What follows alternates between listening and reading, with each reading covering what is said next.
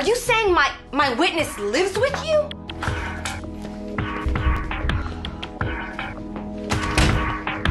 Whatever happened to professional distance and good old foster care? That boy was selling himself on the street to survive, which puts him at special risk. Don't talk Don't me about interrupt me.